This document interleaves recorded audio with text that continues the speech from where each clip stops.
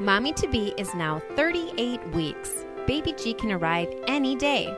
There is so much joy and excitement that lies ahead for Mommy to be and everyone involved in Baby G's life. This beautiful time can also create uncertainty. What do you bring to the hospital? What will happen after your baby is born? Preparing for the hospital should be done well before your due date so you aren't rushing to pack your bags when you should be focusing on getting to the hospital safely make sure you pack the following items health insurance forms, cash and change for vending machines or the hospital cafeteria, camcorder and camera, comfortable clothes for mom and baby, a car seat, postpartum needs, and niceties. Visit www.prevea.com for a detailed list of items. While you are at the hospital, the doctors and nurses will take great care of you and make sure everyone is doing well before you go home.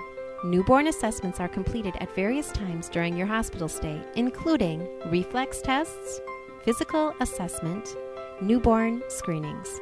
Visit www.prevea.com for a complete list and explanation of newborn assessments.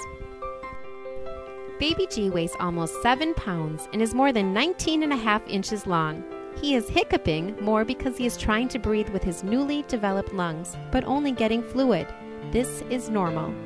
His intestines are gathering waste that has accumulated while in the womb. His first bowel movement is in the works. Join us next time to finally meet Baby G. Here for the wonder of it all.